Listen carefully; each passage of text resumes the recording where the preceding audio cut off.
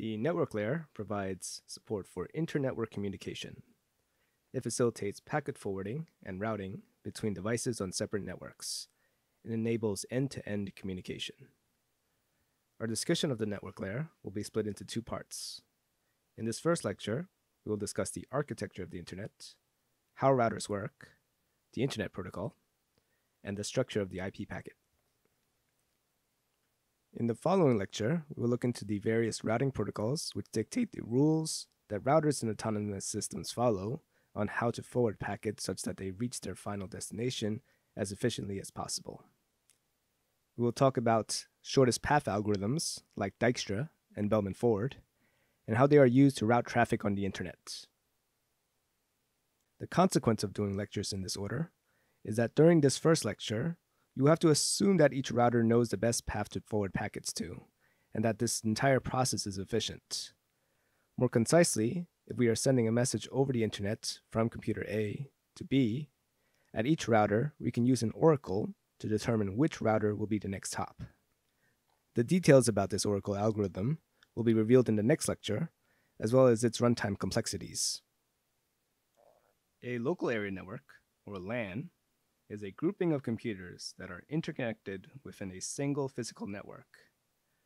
Typically, devices on a LAN can easily communicate with each other, but require special configuration in order to communicate with devices outside the local network. Networks are separated by routers. A single network may have multiple routers, each acting as a gateway between other networks. If the topology of multiple connected networks is known beforehand, and we have the MAC addresses of all intermediate nodes, this can be done solely through the data link layer, through the use of network bridges, which are devices that connect two or more LANs. Even with routers in play, if we control the entire network, we can communicate using just the data link layer. When using the internet, though, we need to be able to communicate with networks that we don't own and are connected to routers that we have no control over. The network layer facilitates delivery of these messages by getting us closer and closer to the final destination, one hop at a time. IPv4, a network layer protocol, facilitates communications between networks that are not known beforehand. The most widely used protocol on the network layer is the Internet Protocol, abbreviated IP. It has two versions, IPv4 and IPv6. Other protocols, like ICMP, also exist, but is mainly used for error reporting purposes, and its header is largely the same as the IP datagram, with a few additional fields. Before your computer sends a message off to the internet, it attaches an IP header to it. This header, for the most part, stays the same at each hop along the path. Certain values like TTL are decreased, but the address fields are maintained. This is in contrast to data link layer protocols like Ethernet and 802.11, where the frame headers are removed at each hop.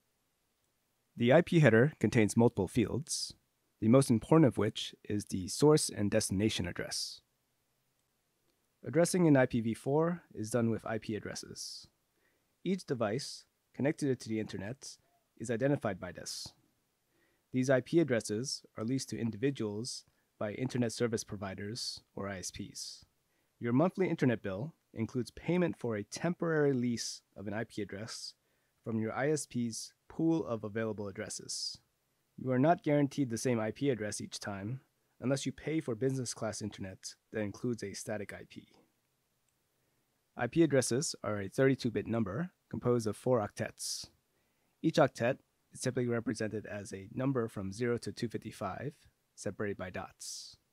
For example, 172.16.254.1. This format is called dotted decimal notation. Due to IP addresses being a 32 bit number, there is an upper limit of 2 to the 32 or roughly 4.2 billion addresses. While enormous at the time of the internet's creation, the wide adoption of it has caused these numbers to quickly deplete. By January 2020, all IPv4 addresses have been allocated between various ISPs around the world. This problem is called the IPv4 address exhaustion problem. IP addresses are composed of two parts, a network portion and a host portion. The bits of an IP address designated for the network portion uniquely identifies the network, while the host portion allows all devices on the network to share the same prefix. By decreasing the size of the network portion, you allocate more devices to a single host, allowing them to have more connected devices. By decreasing the number of bits in the networking portion, you allocate more bits for the host components, allowing a single network to have more devices. The drawback to this is that you have fewer unique networks, which exacerbates the IPv4 exhaustion problem, especially if these hosts remain unused. This next section is historical, so we don't really use this nowadays, but it helps us understand the IPv4 exhaustion problem better. Originally, these network addresses were divided into network hosts at every 8 bits, or 1 octet, creating three classes of addresses. Class A networks, identified with a first octet in the range of 0 to 126, had 1 octet for its network portion and 3 octets for the host portion. This allowed for 2 to the 24 minus 2, or roughly 16 million devices per network. Class B addresses, identified with the first octet in the range 128 to 191, had 2 octets for the network portion and 2 octets for the hosts. This allowed for 2 to the 16th minus 2, or 65,534 devices per network. Finally, we have Class C addresses, which are identified with the first octet in the range 192 to 223. These had three octets for the network portion and one octet for the host. This allowed for 2 to the 8 minus 2, or 254 hosts. The drawback to this classful system was because there were only three rigid sizes of IP address blocks, small companies could outgrow their allocated Class C address, and their only option would be to either get another Class C address and combine the two, but this would create two separate ranges of IP addresses for a single organization. Their other option was to upgrade to a Class B address, giving them 256 times as much addressing space as they previously had. This could also happen to organizations that outgrew their Class B address, but with the added complication that there could only ever exist 126 Class A addresses. In modern applications, we use classless interdomain routing, or CIDR. In CIDR, instead of an entire octet of 8 bits being changed at once, a single bit is moved from the network to the hosts. When using CIDR, IP addresses have two forms. One to identify the network, called the CIDR address. This includes a network portion, a host portion, and a subnet identifier. For example, 64.64.0.0 slash 20. The number after the slash represents the subnet identifier and specifies the number of bits that will be used for the network portion. In this example, 20 bits will be allocated for the network, and the remaining 12 bits are used for hosts. This network can have up to 2 to the 12 minus 2 hosts. There are two reserved addresses for each network. The host address of all zeros is reserved to identify the network itself. The host address with all ones is reserved as a broadcast address. There is also an IP address for individual hosts. The key difference is the lack of a subnet identifier. When sending messages to individual machines, we do not care about how the IP addresses are allocated. All we care about is that each address is unique. So, IP addresses are used to identify individual machines, while CIDR addresses represent ranges of IP and are used to identify entire networks. So, IP addresses represent individual machines, while CIDR addresses represent ranges of IP addresses and are used to identify entire networks. CIDR fixes the allocation problem of classful domain routing. Networks looking to add more hosts could exchange their existing CIDR address for an available address with one bit shifted over. As an example, a network could return its CIDR address 64.64.0.0/20 in exchange for the CIDR address 80.80.0.0/19. Because the network portion has been reduced by a single bit, this network can have twice as many hosts while ensuring all devices on the network share the same network prefix. The protocol data unit of IPv4 is the IPv4 packet, also called the IPv4 datagram. This header wraps our payload and gets rewrapped with a data link layer header before being transmitted. The first four bits represents the version and determines which version of IP this packet is using. The field after that is the internet header length. The size of the IP header is variable because of the options fields.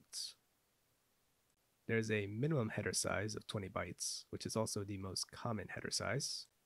We can derive that value by noticing that in this diagram, each row is 32 bits, or 4 bytes in length, and that there are 5 rows, not including the options fields. The next field, type of service, specifies data about quality of service technologies. The field after that, total length, specifies the length of the entire packets. The maximum size of a IP packet is 65,535 bytes.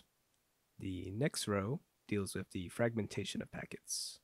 Should a particular packet exceed the maximum transmission unit, or MTU, of a link, that packet will need to be fragmented before it is sent off. Packets are reassembled at their final destination. The identification field, which is a 16 bit field, is used to collect and group together fragmented messages. When IP messages are fragmented, this field is used to identify which fragments belong to the same original message. There are three flags that follow. The first bit is a reserved flag and is always zero. The second bit is the don't fragment bit and indicates if a datagram is allowed to be fragmented.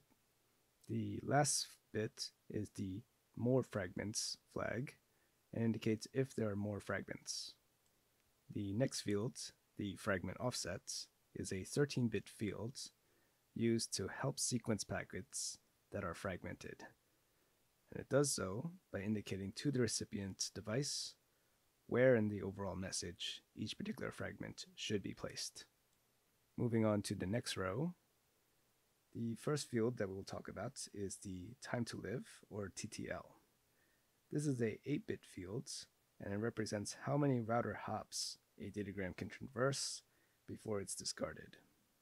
We discard long-lived messages on the network to prevent loops when there is a misconfigured or malicious router.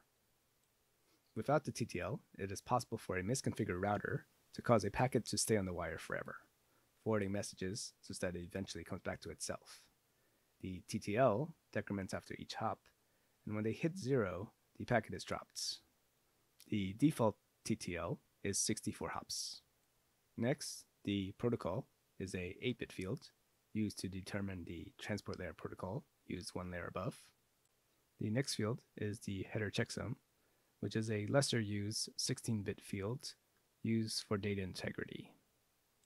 The checksum is not really used because both major data link layer protocols, Ethernet and 802.11, provide data integrity using the frame check sequence. If we look at the IPv6 header field, in fact, we will see no checksum fields, and in fact, there is no data integrity field. Instead, that task is offloaded to the data link layer.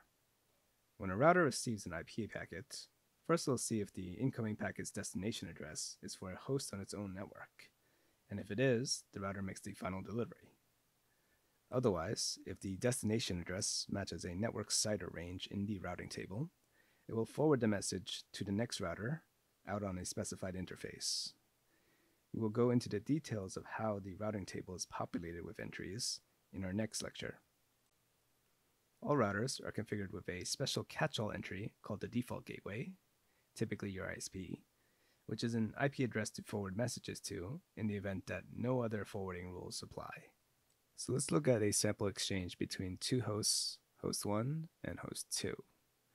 When arriving on the router, the packet will have its TTL field decreased by 1, and the entire packet will be dropped if the TTL field hits 0. Then the router looks up the next hop in its own routing table and performs fragmentation if required before sending the data to the next hop out on a specified interface. These individual hops are chained together until we reach the final destination.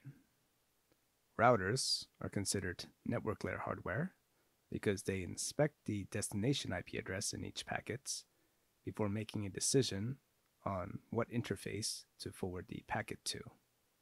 There are several IP ranges that are not to be allocated to any entity. These addresses are meant only to be used locally. Traffic using these reserved IP ranges never leaves the network. There are many reserved IP ranges, but for this course, we only care about three. The 127.0.0.0 slash 8 block. This is used for the loopback address, which is when a host wants to send a message to itself. It is used quite often in netcode development, as the operating system will simulate the requests without needing any actual hardware. The CIDR address 192.0.0.0/24 is used for a local area network. It can support up to 256 devices. If this is not enough, you can also use the 10.0.0.0 slash 8 range, but we won't be discussing that. Finally, the range 224.0.0.0 slash 4 is used for IP multicast. IP multicasting uses a one-to-many association where datagrams are routed simultaneously in a single transmission to multiple recipients. A server only needs to send the message once, and machines will listen in on a specified IP. IP multicasting uses a one-to-many association where datagrams are routed simultaneously in a single transmission to multiple recipients. A server only needs to send the message once, and all configured machines will listen in on the specified IP. Video surveillance systems are probably the most common usage, with many closed circuit TVs broadcasting on specific IP addresses that you can navigate your browser to and watch. Because these are local IP addresses, multicast traffic will never leave your network. Other usages include PC ghosting and software updates, voice over IP, video monitoring, and conference calls. Your home network can have up to 256 devices in the address block 192.0.0.0/8. When a device connects to your home network, it is temporarily allocated one of these addresses through a process called DHCP. The Dynamic Host Configuration Protocol is used to temporarily assign a local IP address to a newly connected device. The DHCP protocol has four stages. DHCP Discover, where a newly connected device sends a discovery request that is broadcasted on the entire network and includes the device's MAC address. DHCP Offer, all DHCP servers who receive a request and have an available IP address offer to lease the IP address to the newly connected device. DHCP requests, the newly connected device sends a request to the server of the first response they receive. When receiving multiple offers, it assumes that the first offer has the least latency. DHCP acknowledgements. Upon receiving the DHCP requests, the server creates a record of it in the DHCP table to keep track of which local IP addresses are currently in use. Then it sends an acknowledgement which includes additional information like expiration. IP addresses assigned with the DHCP protocol are designated to be dynamic IPs. Dynamic IPs revert back to the DHCP server once they are expired. They are useful for devices that don't need to communicate with other local devices, like desktops and laptops. We can also go into the router settings to configure a static IP address. Unlike DHCP, static IP addressing does not expire unless revoked. They are useful for devices that others may want to connect to, like a network printer. This is because the DHCP will automatically assign any newly connected device an IP address from its available pool. If a lease expires or we lose power, there is no guarantee that the devices, when they reconnect, will get the same IP address. When using a network printer, we are sending a print job to an IP address. Should the IP address of that printer change because the DHCP gave it a new one, we may wind up sending our print jobs to the wrong location. IP addresses belong to the network, not the devices attached to those networks. These devices lease an IP address using the DHCP protocol. This is in contrast to the MAC address, which stays the same regardless of where you are connected to. Each computer connected to a network is leased a local IP address. This address is unique to the network, but can be reused outside the network as it is a reserved address which will never leave the local network. Finally, we'll discuss the Address Resolution Protocol, or ARP. ARP is a data link layer protocol used to map a known IPv4 address to an unknown MAC address. It cannot be used outside of local networks. It is used predominantly to find a MAC address given a IP address. All network devices will keep an ARP table a list of IP addresses and known MAC addresses associated with each device. ARP table entries expire after a short period of time to ensure network changes are accounted for.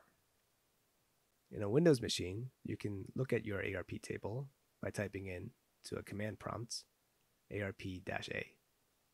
If a router receives a unknown IP address, it will broadcast an ARP request out on the entire network the device that owns that IP address will respond back with its MAC address.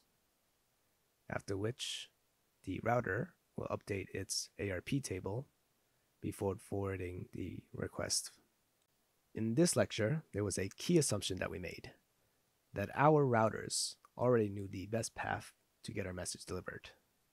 In our next lecture, we'll discuss routing protocols which populate our router's memory, called a routing table, with CIDR addresses and how it keeps those records up to date with a constantly changing internet.